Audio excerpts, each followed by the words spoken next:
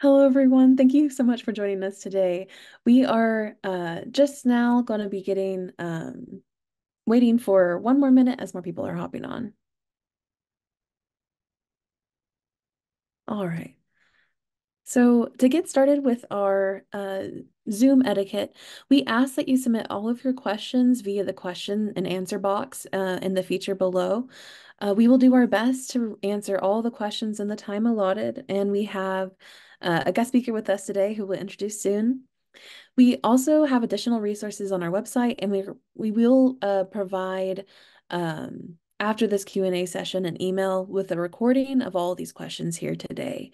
And so uh, if you have any technical difficulties, though, we do ask that you put that in the webinar chat. But for all of your personal questions about RFA, the question and answer box. Thank you so much for joining us today. But first, would you introduce yourself, Travis?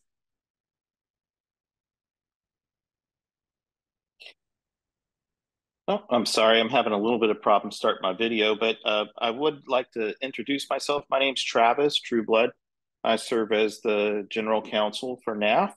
Uh, so I know there might be some questions about uh, legal questions about how to put together some aspects of the the grant application and the agreement and things like that. So I'll be here today to answer some of those questions as they come up along the way.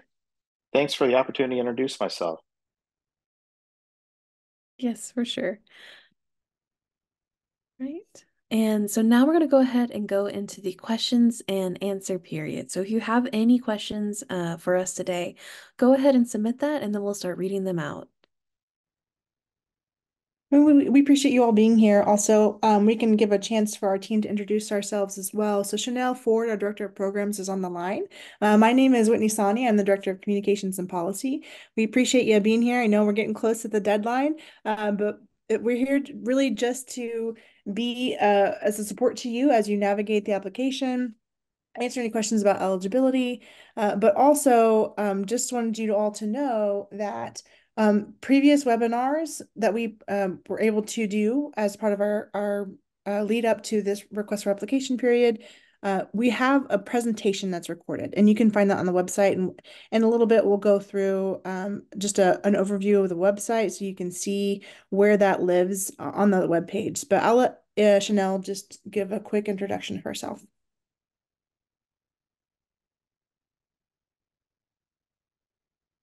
Just kidding, I was on mute.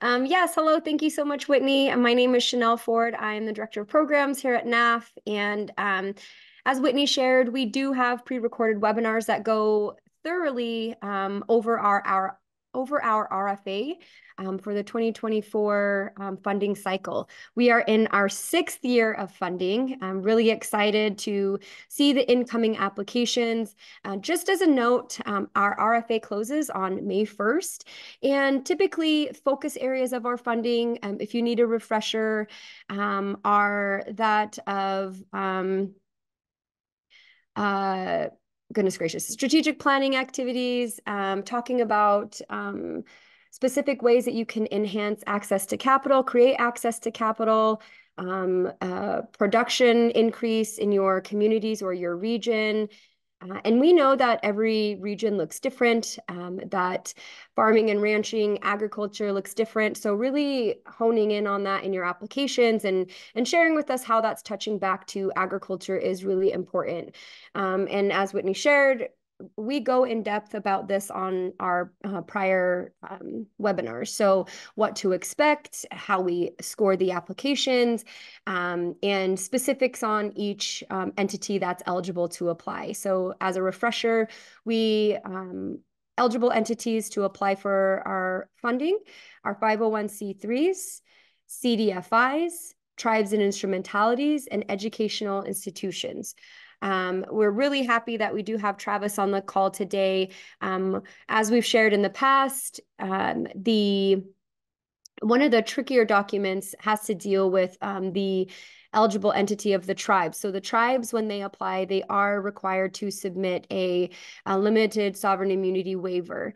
And I know there are questions about that and, and um, concerns sometimes as to how long um, uh, that waiver uh, has to stand for and just specifics and logistics behind it. So we do have Travis here, and that document is only applicable um, to our tribal um, grantees. So if you're applying via a tribe, then that would uh, apply to you. So um, thank you all for joining us. I'm really looking forward to the questions and um, as a side note as well, please refer back to uh, our website. Um, we have a whole list of FAQs that we've gone through. If something isn't answered here today, or if you're going through the application and you have more questions that, that we didn't discuss, um, please refer back to that.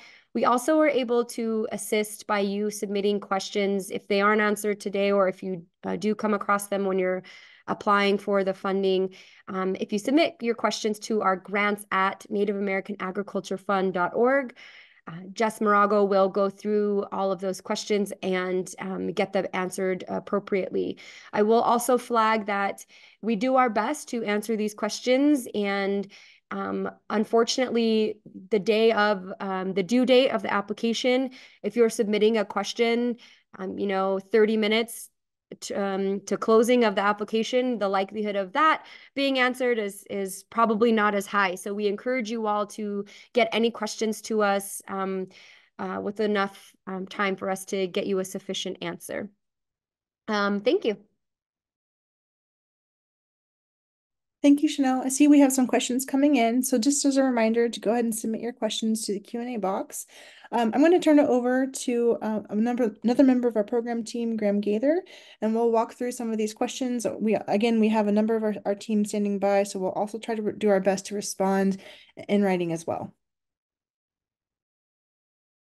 Hello, everyone.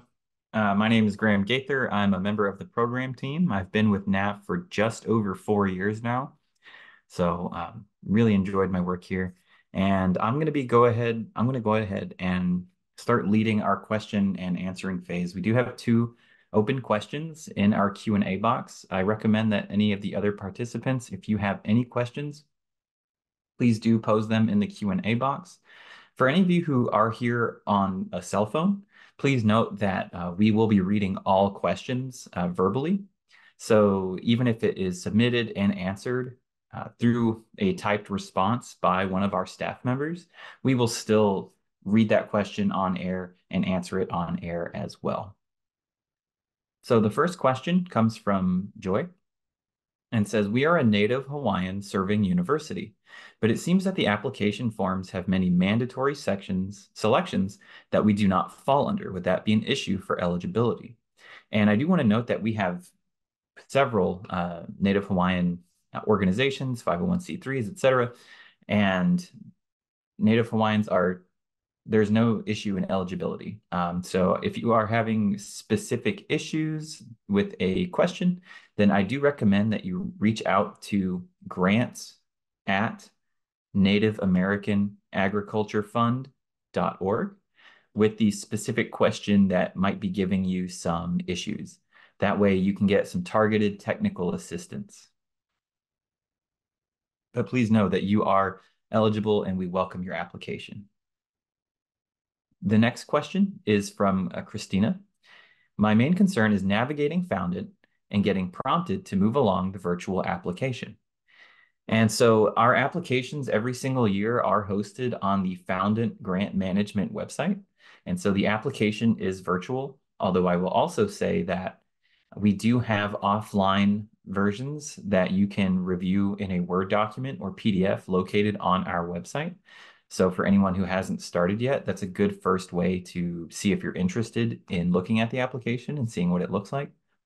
But if you are having any specific issues or navigating that Foundant system, I also recommend that you reach out to grants at Native American Agriculture Fund.org. And that way you can get some more targeted technical assistance. Hey, Graham, I'm also going to jump in here on that question. I'm going to drop in the chat a link to a document. And as we go through the website in, in a little bit, you'll see there's options to, as Graham mentioned, to download some of the applications ahead of time, but there's also a resource that is an RFA Foundant application tutorial. So I will drop that into the chat there. Thank you, Whitney. Okay, I see a question from Eduardo that says, we are a tribal college. Do you have a template for the application? And as I mentioned, we do have templates for the application located on our website. We have them both in a Word document format and a PDF format. And you can download those and review those offline at any time. The next question is anonymous. They say, our tribe has a currently funded project. We did submit a report late. Does that make us ineligible to apply for funding in fiscal year 2024? Also, we have an existing extension on our current Corral project and would like to know if it's possible to get a second extension on our current project award. Um, so that I'm going to split that question up into two pieces. The first is, does submitting a report late make you ineligible to apply as a current grantee? And I'm going to say no. Um, there is a compliance eligibility piece, and I do recommend reaching out to your point of contact. Um, if you could mail uh, message me directly and let me know what organization you are. Uh, I do see that you're posing this question anonymously, but if you could message me specifically, I can pass on your question over to your point of contact and have them get in touch with you. And that also applies to the extension question as well. That could be answered by your point of contact.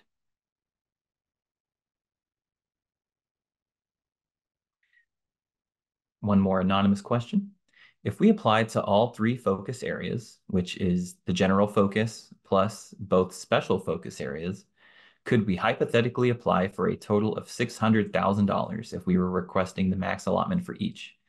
And the question, uh, the answer ultimately is that you can uh, receive the max for each um, project type. So every project type has a minimum and maximum amount. Let's say that the maximum amount is 200,000 for each and you apply for three, then that would net you 600,000, assuming that all three projects are uh, funded the full amount. What I will say though is that NAF does have an expectation that each project that you apply for is able to stand on its own. If you are applying for three projects and all three of them are interdependent to the point where if one doesn't get funded, the other two can't work, then that is going to be part of our decision-making process when we evaluate. So please do ensure that every project that you apply for even if it's three focus areas, each focus area must be able to stand on its own.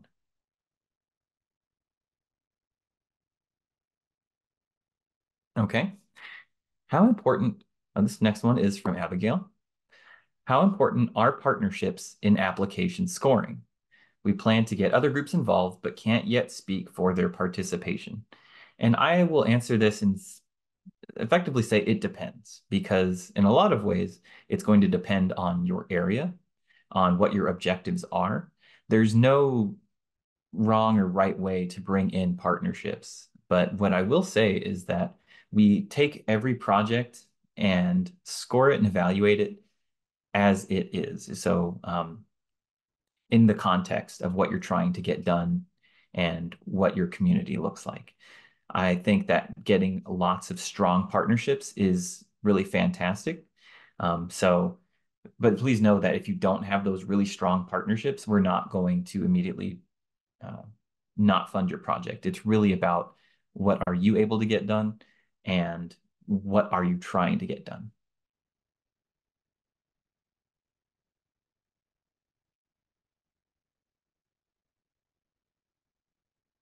Okay.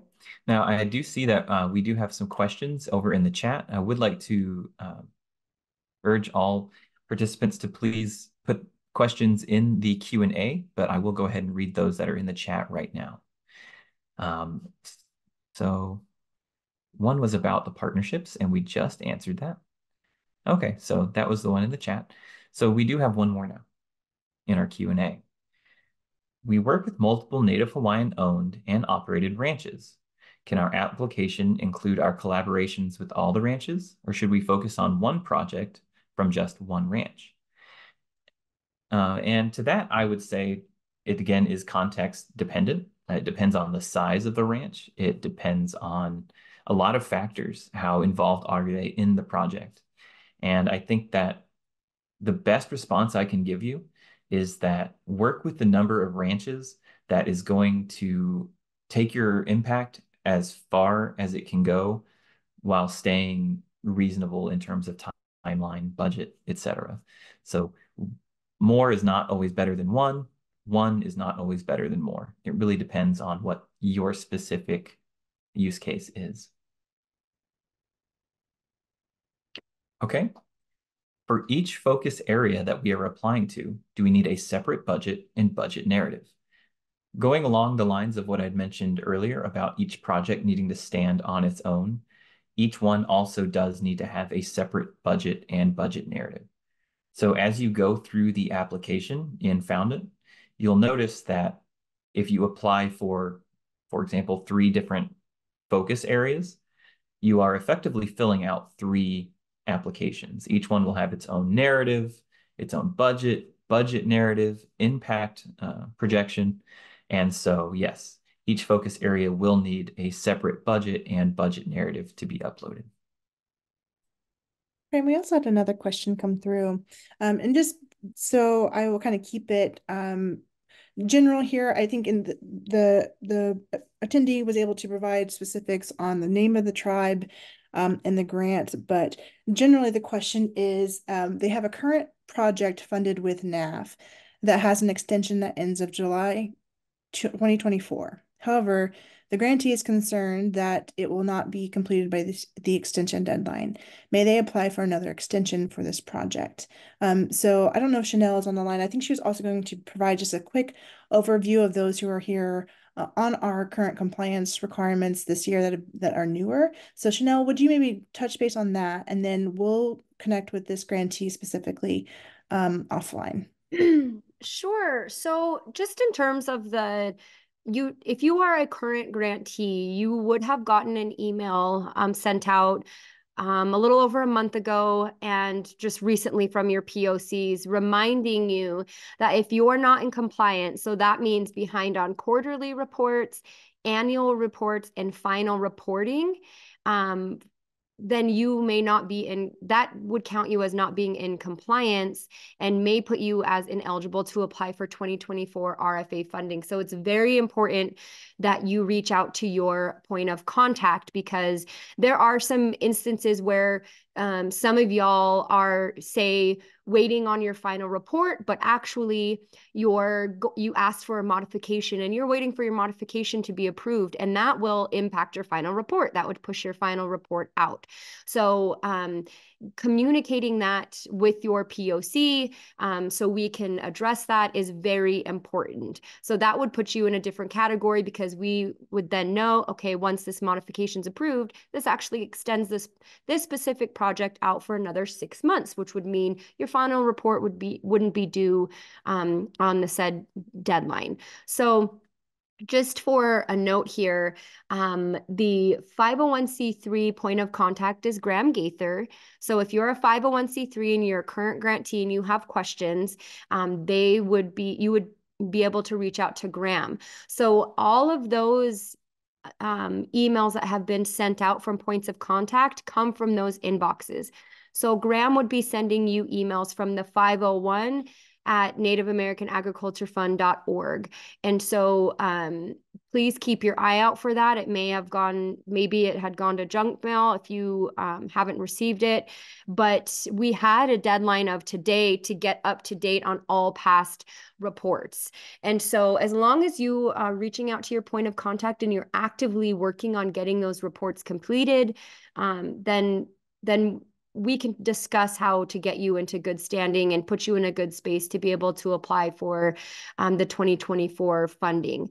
If you are an educational institution, um, a current grantee, your point of contact would be Dr. Joe Graham and it would also be Riley Dizitel. They run the EduOrg inbox. If you are a CDFI, I would be your point of contact. Your emails would be coming from CDFI at NativeAmericanAgricultureFund.org. And if you are a tribe or instrumentality, your point of contact would be Cindy Farley, and the emails would be coming from tribes at NativeAmericanAgricultureFund.org. And we can pop those in here. Um, but the important thing is to reach out to your um, POC they, I know, um, have been reaching out to all entities that are behind, so it shouldn't be come as a surprise to you. But we will uh, work with you to get everybody in a good space. Thank you very much, Chanel. I appreciate uh, expanding on that, the inbox system. And, and, Linda, I hope that does give you some guidance there. Um, I'm going to continue answering some of these questions. This next one comes from Joy. It says, may I ask the indirect or overhead policy of this grant and NAF in general? And I want to, I'm going to uh, ask that you go over to our website. We do have another document that fully details the indirect uh, cost requirements and policies for NAF. Um, ultimately, it is, you can take a maximum of 15% um, applied towards the personnel and direct costs categories.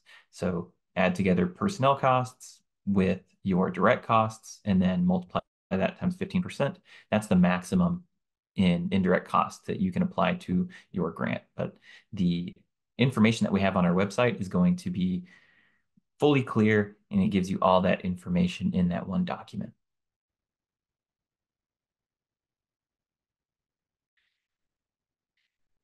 Oh, and you can also see uh, that we just posted in the chat our budget guidelines. So that's where you can get that information. Next, we have a question that says, can you explain a little more about the project response to national disruption section of the grant application? What are you trying to gauge with this section since it's not impacting our application evaluation? And I'm going to pose an answer here, but I would think it'd also be really helpful to hear from Chanel or Whitney on this as well. And ultimately, it's that we are trying to see if your project is addressing an issue in your community that is systemic, or is it addressing an issue in your community that is more recent, such as coming from a drought? Is it coming from COVID? Is it a response to a timely issue? That helps give us some context on what your project is and what type of harms it's trying to address. Yeah, Graham, I think that is spot on. It's really for us to gauge um, what we're looking at in terms of your project because uh, um, this may not apply to um, every region. This may not apply to every applicant and every project. Uh, so we really want to be able to hone in on what that nat- national disruption looked like if it impacted you, um, and and how you look to um, hopefully create opportunity from that and what how that's impacted your region or your area and disrupted your um, maybe your uh, normal agricultural processes, and then a plan on how you um, can see that moving forward and what is the need um, to help move that project forward in this particular instance.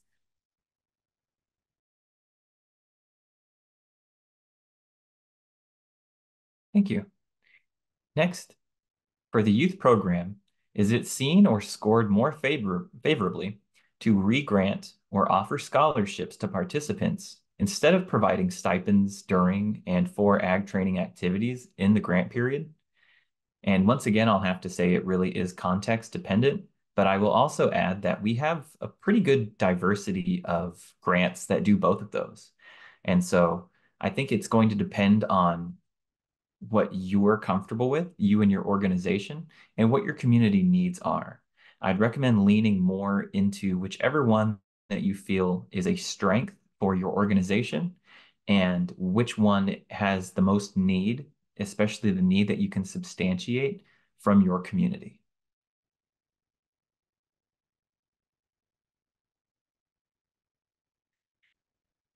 Okay, this next one um, says, hello, I am Augustus. I am uh, from uh, Kosheris Farms Limited in Nigeria, West Africa.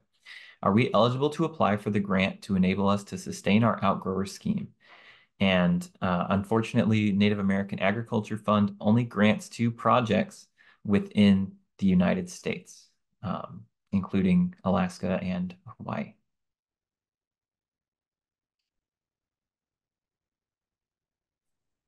Thank you, Graham. And as we have other questions come in to the chat, I'm sorry, to the Q&A box, um, we're going to share on the screen an overview of the um, request for application webpage. So I, I, know a number of you have likely visited that page already, but I just wanted to go ahead and run through some of the downloadable resources. We've included some of those in the chat, but they all exist on the webpage on the on Native American Agriculture Fund.org website.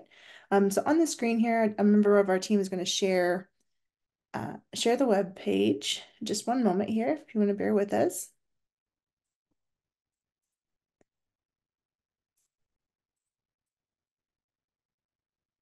Thank you, Gabby. So when you come to our homepage, you'll click on the Apply Now, or you can go into the Grants and drop down menu at the 2024 RFA. Okay, so on this webpage, when you uh, scroll down, you'll see all of the information on the deadlines. Um, you'll see the buttons there to view the general and youth application, also the, the link to apply for the application via the Foundant grant system, which that was a question that came through about uh, navigating that Foundant. So again, just as a reminder, I put that resource in the tutorial in the chat box, but if you have any technical questions, uh, feel free to go ahead and email us or contact us via phone. So um, below this deadline here, you'll see on a contact information and that has our phone number there. But in this um, box you'll see on the screen, I think this is a really helpful resource because there's different tabs here. So you here's like intro uh, language, but then you can go to see eligibility. Um, is your organization eligible for our funding? You also can look uh, the next tab that says funding areas.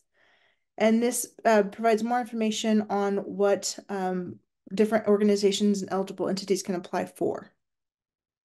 On the next tab is what I think would be a really helpful resource for you all is the downloads. So I would recommend starting with the RFA overview document. This provides really just a general information that you need. We also had questions here, for example, about some of the budget guidelines, direct costs, indirect costs, overhead, all of that. So uh, that would be in the budget guidelines. You can download all of the budget narratives and sample budgets um, all of our frequently asked questions. Um, another one is the Foundant application tutorial. We even have a technical uh, support here of like how to reduce your PDF file size. So if you're going to, to submit like support letters, for example, and you need to feel like you like reduce the size of those, um, that's there available to you. The next tab is a checklist, and that checklist will tell you all of the required documents that you'll need before submitting your application. Um, webinars tab is less uh, less um, applicable at this moment just because we're on our last webinar, but then we also have a deadline reminder there. So uh, those below that are video tutorials. That is the NAF uh, financial tutorial series. Um, I recommend you check those out if you have any questions about finances. And then below there, we have all of our frequently asked questions. And I will you will see as we scroll through that is a significant number of questions We've done our best to kind of break them up into different categories, um, but we also, if you uh, are curious about what other questions were asked during each webinar, we go through and add those into our frequently asked questions, but we also post each webinar uh, that we've had, um, and that includes a more in-depth presentation. Um, we also have one separate for our youth uh, application, so people can check check that webinar out as well. Thank you so much, Gabby, for showing that. If anybody has any questions, uh, feel free to continue to submit via the question box.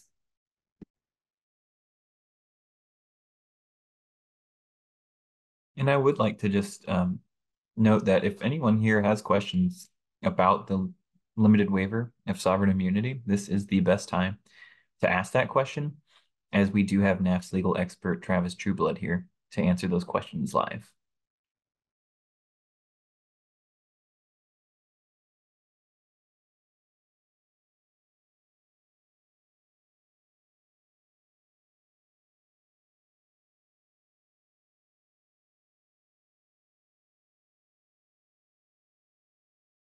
Okay, does anyone have any questions about eligibility, uh, the sovereign immunity waiver, navigating the Foundant system, or where to find more information?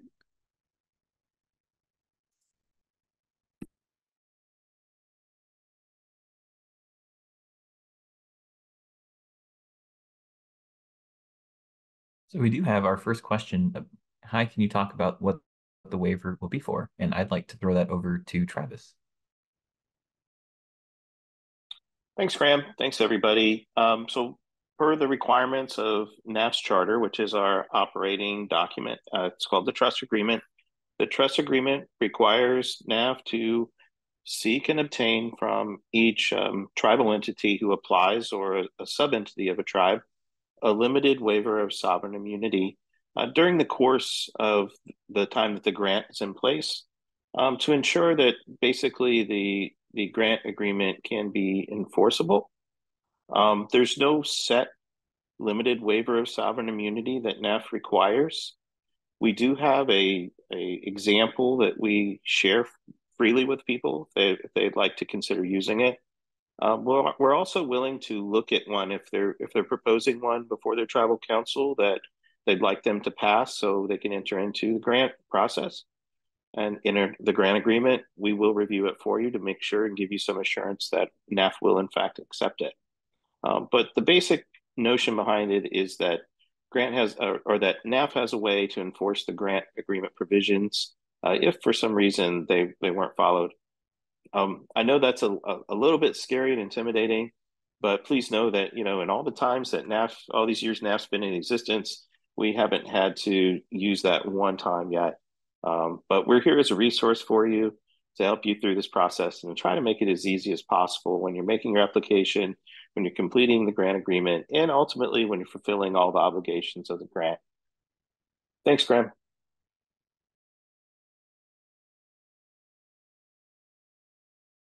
Thank you very much, Travis. I'm going to move over to our next question. It says, not sure if this is the right box, but is an NPO eligible to submit a regranting project? I see native CDFIs can do regranting. And the answer is yes, that nonprofit organizations are eligible and able to do regranting. All, in fact, all of our eligible entities are able to uh, perform regranting.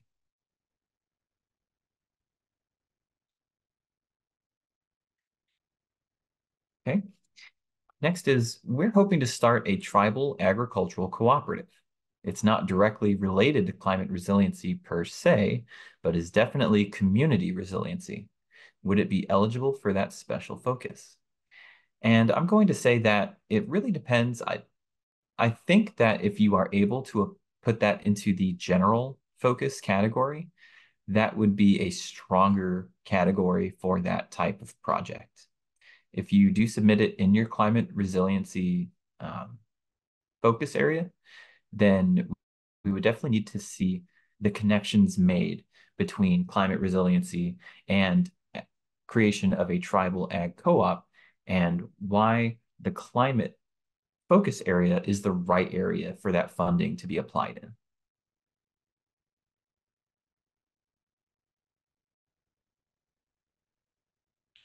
Okay, I see another. I want to add one piece to that. Um, Absolutely. just the question about the special focus area, if, if you all are, are curious about what that is, uh, our special focus areas this year are for climate and regenerative agricultural practices, um, but also additional CDFI and native CDFI support. But under the climate regenerative agricultural practices, um, that goes to supporting for climate regenerative agricultural practices and disaster mitigation, and understanding that this funding can be used to assist producers or communities affected by climate related disasters, uh, both natural and man, man-made, but that, that impact and their engagement um, in the agricultural community food system work. So just a little bit more clarification on that too. Thank you, Whitney. Next, I see, does the waiver of sovereign immunity need to be addressed in the cover letter from leadership?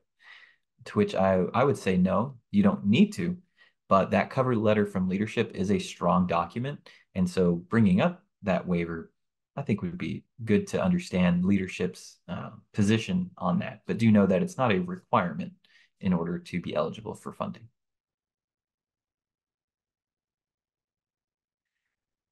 Okay, and now I see uh, we were going through the grant application sections on the online form and didn't see a place to upload the budget. Is that something that will pop up after we fill out other parts of the grant questions? And so, yes, uh, that is how the application works. The online application, it fills out um, the application in response to what you put into it. And so once you have gotten far enough into the application to say what your eligible entity type is, and what type of projects that you're wanting to apply for, then you will begin seeing questions pop up that ask you to fill out the narrative, fill out your impact, as well as upload a proposed budget and budget narrative. So as you proceed through the application, it will continue to populate questions that respond to what you're putting in.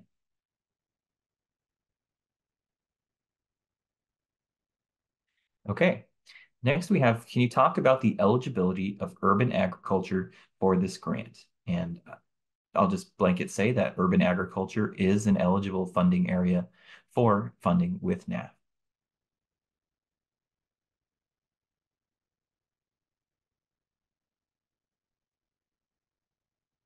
And one thing to add there too is when you're submitting your application, thinking about um, in, in the context of urban agriculture, how that impacts and serves Native American producers too, and, and increasing their access to capital.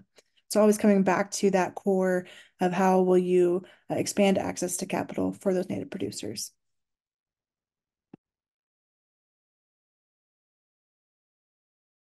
Thank you, Whitney. Um, okay, so we are currently have no more open questions. I definitely hope folks submit more. I love the Q&A period. Ah, here we go. All right, so we are a 501c3 fiscal sponsor of the ranches that we are working with. And that also means our leader is not the ranch's leader. If we were to provide a cover letter, can this letter be from our CEO? To which I would say yes. Uh, the CEO of the applicant organization, in this case, the 501c3, is, is who you want that cover letter to come from. Uh, I would also recommend, if you can, getting uh, letters of support from those ranches that you intend to work with. Um, the are letters of support are not required, but they are very helpful for us to better understand who it is you're working with and their own thoughts on your working relationship. So they help add context, and that's always really helpful for us to better understand the reach and intent of your project.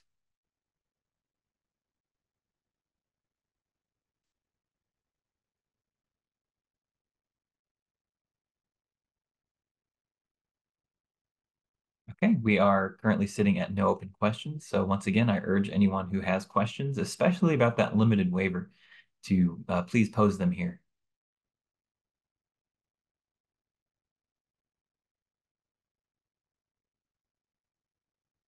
Okay, is the trust mandatory trust agreement mandatory for all applicants? And I'm going to hand that off to Travis. Thanks, Graham. The the trust agreement is only governs NAF's con, con, uh, conduct as an entity. Um, the grantees are asked to enter into a, a grant agreement with NAF that intends to spell out all the specifics of the arrangement between NAF as the granting party and your entity as the grantee and how you will carry out um, your plan and spend the grant money. But the trust agreement itself only pertains to NAF.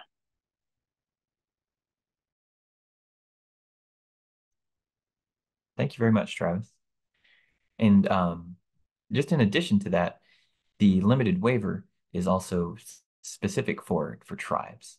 And so if you are any other type of eligible entity type, then the limited waiver of sovereign immunity will not apply to you. In terms of, uh, I see, I'll answer this question before I go to yours, uh, Pinu. Is there a link to info on the limited waiver? And there is. It is on our website. I highly recommend giving that document uh, a read through to better understand what our requirements are. And it also will contain a uh, template waiver. And that is something that we put in there to help jumpstart the process of getting the limited waiver um, rolling. And if you have any additional questions about that limited waiver, I highly recommend posting them here and now while we have uh, Travis here. I'm also going to drop the link in the chat. Um, I'm going to link to first the RFA overview document. And on page seven of that document, it does go into more detail about the limited sovereign immunity waiver. Perfect. Next, we have our direct grants, small grants to tribal farmers, an acceptable or desirable way to provide access to capital. And that is an eligible project activity. Um, I can't say whether it's desirable or not because it really depends on the situation, on what your organization does, what its history is with regranting. So again, that's very context dependent, but we have plenty of grantees that have made regranting to farmers an activity. And I'm going to field this next question over to you, Whitney, but I'll read it out. Are there any requirements for ownership of intellectual property to outcomes or any potential products generated from the grantee's projects supported by this grant? You know, that's a really great question. I might see if Travis can weigh in on this too, but um, I'm gonna maybe have to look up the answer to this question uh, and get back to you. Uh, we'll email you, but unless Travis is able to jump in and answer this. I, I'm sorry, I cut out for a minute. Could you repeat the question? Absolutely. Are there any requirements for ownership of intellectual property to outcomes or any potential products generated from the grantee's projects supported by this grant? Um, it, there's nothing in NAF's agreement that uh, the NAF's grantee agreement that would convey any type of ownership to NAF for anything that the grantee might develop during the course of their grant.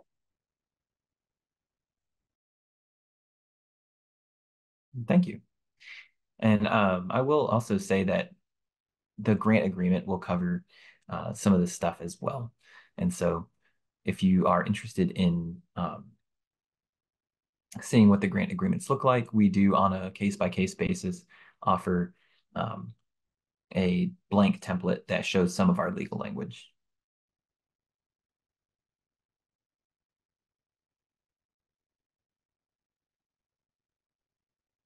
And Graham, because we had a couple of questions come through about addressing access to capital, I just wanted to provide a quick overview that because of the central issues that led to NAF's creation involved access to capital, NAF does require that all applications incorporate different strategies that will improve access to capital for Native farmers and ranchers. Uh, so access to capital can be shown through a number of ways. Um, some examples could be, for example, business planning or market planning training, financial education, credit education um, for students, record keeping, uh, credit repair activities, different targeted credit application training or technical support, uh, risk analysis or related activities to prepare native farmers and ranchers as they seek capital to support to support their enterprises. So really it, it ranges, but we're going to drop a link in the chat um, that goes into that a little bit more in detail as well, which is a, a video on access to capital.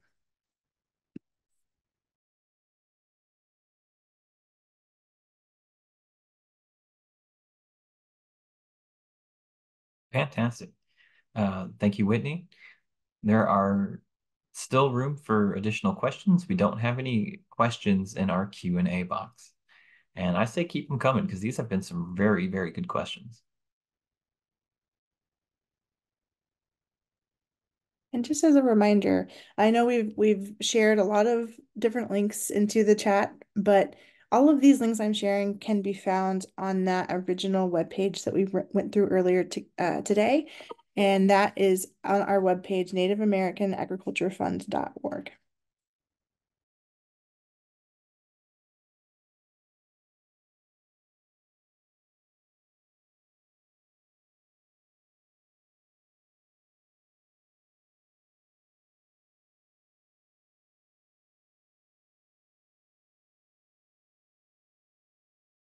until we receive any further questions, Whitney, um, I'm going to go ahead and throw it over to you just to see if there's any other items you might want to address on this webinar.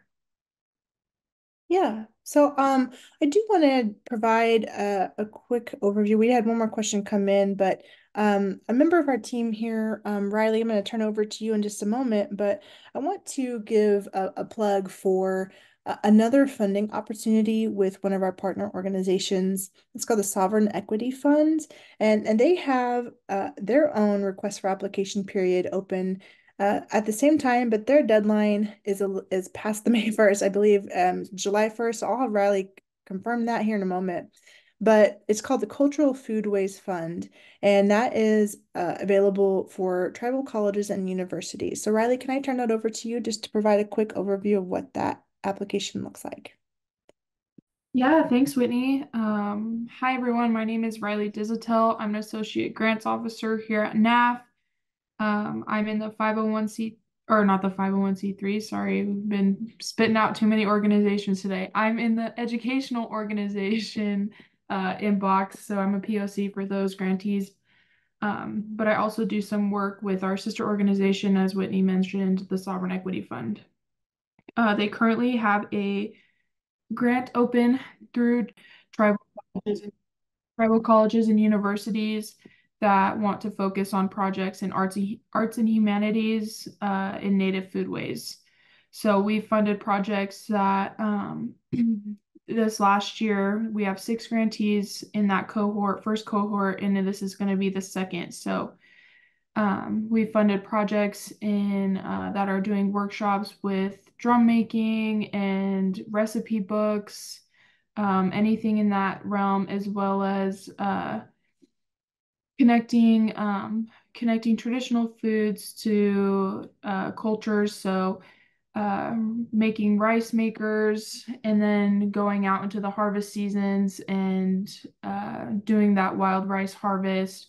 Uh, same thing, you know, bow making, um, and then going and going and doing an elk camp. So we we're doing different things and we're excited to have six new grantees this next year. And like whitney said that is open through july 1st 2024 um, and yes we'll drop some information. Thank you sam for the website. And again very similar um, similar application and such. So anything you guys may need please reach out to grants at sovereignequityfund.org thank you whitney Thank you, Riley. And and uh, that chat or that um resources in the chat there as well.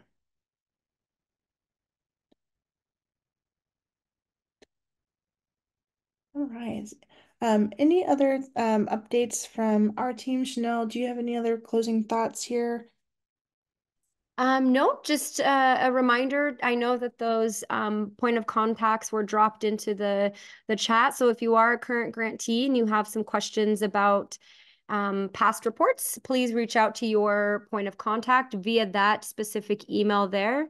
If you have new questions, if you're a new applicant, please feel free to reach out to the GrantsAt um, inbox and we will do our best to get questions answered um, in a timely manner. Thank you so much. So we'll stay here um, for a little while longer unless any other questions come through um, until the top of the hour. But just as a reminder for the deadline, um, that you won't, there will not be an opportunity to edit or amend after the deadline has passed. So definitely encourage you to try to get as much uh, information complete before that day um, but again, our team will be available to answer any questions leading up to the deadline.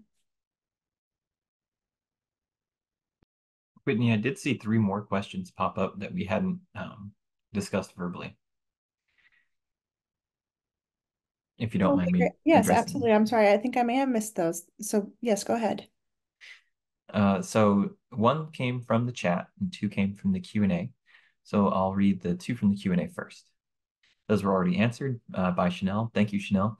But just for the uh, folks who might be listening at home, in case we are not able to submit this year, will this grant be open next year? the answer is that yes, it will open up around the same time next year. And so for reference, this year, uh, our grant opened March 1st and closes May 1st at 11.15 uh, at midnight uh, Central Time. And then would you also allow multi-year projects from new applicants or as a new applicant, should we only submit a request for a single year of funding? And in the application, you are able to select two um, options, either a 12-month project or a 24-month project. And being a new applicant, it doesn't matter. You can select whichever one is applicable to your project. Next, we have uh, Doris from the chat. If we, we are a 501c3, if we wanted to help them set up a community garden, would that qualify? And so there's a few different layers to this question. In terms of helping someone set up a community garden, it depends on what that help looks like. Um, if you are interested in fiscally sponsoring another organization, that other organization does need to be attempting to acquire its own 501c3 status, including applying for that status from the IRS, having submitted the application. If you are interested in helping a community broadly set up a community garden, then I would say that the most important thing for you to list in your application is how setting up that community garden is also increasing the ability for native farmers and ranchers to access capital. That access to capital piece is the linchpin in any and all projects that NAF takes part in.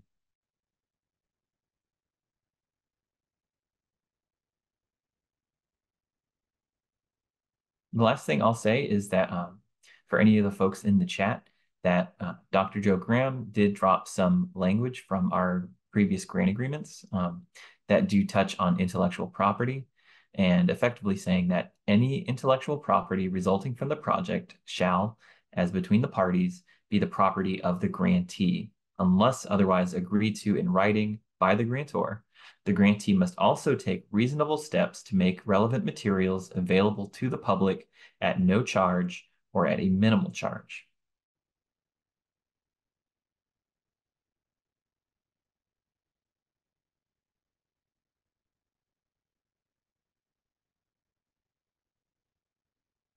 All right, so we are currently out of open questions. And so, as Whitney said, we will be here until the top of the hour. Uh, but I highly recommend that any folks that have any remaining questions take this time to pose them here so that we can answer them live. I think we had one more question come through the chat.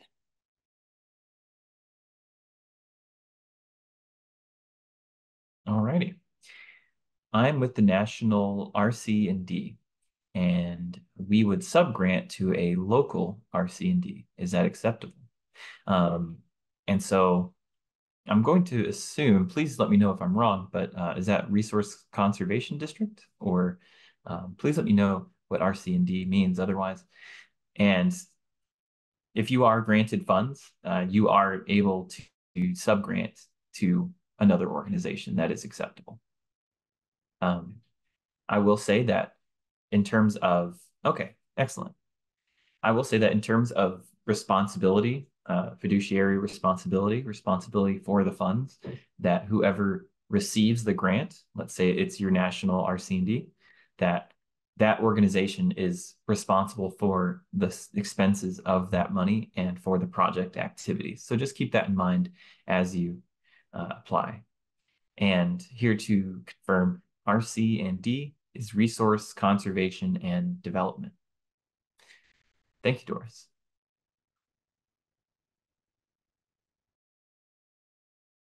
Great, thank you so much, Graham. Um, so we have about five more minutes.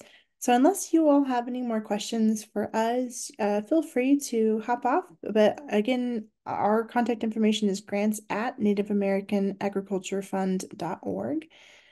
And we can drop that email here in the chat one more time, but we'll stick around for four more minutes.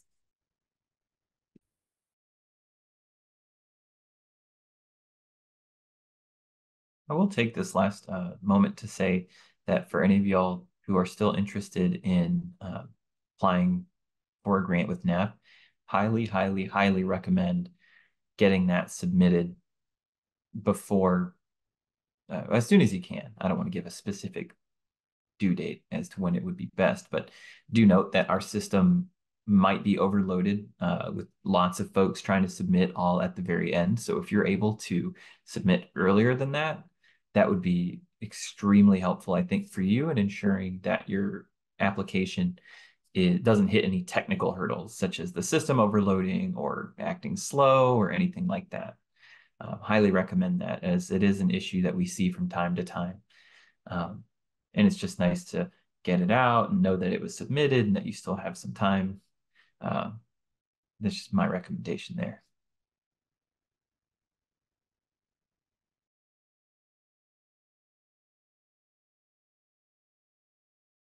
I'd also like to read Travis's message to the general chat saying, thank you everyone for your participation. Please don't hesitate to reach out to him if you have any questions about the limited waiver of sovereign immunity or grant agreement. Note that any questions you send to grants at uh, will about the sovereign uh, limited waiver of sovereign immunity or the grant agreement will also be filtered over to Travis. So um, know that you'll get a response from there as well if you send something there.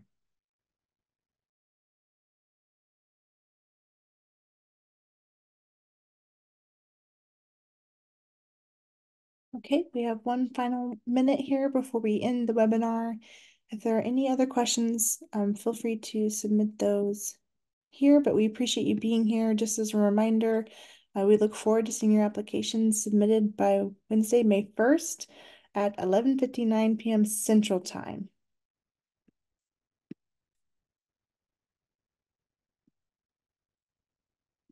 Okay, thank you all for being here.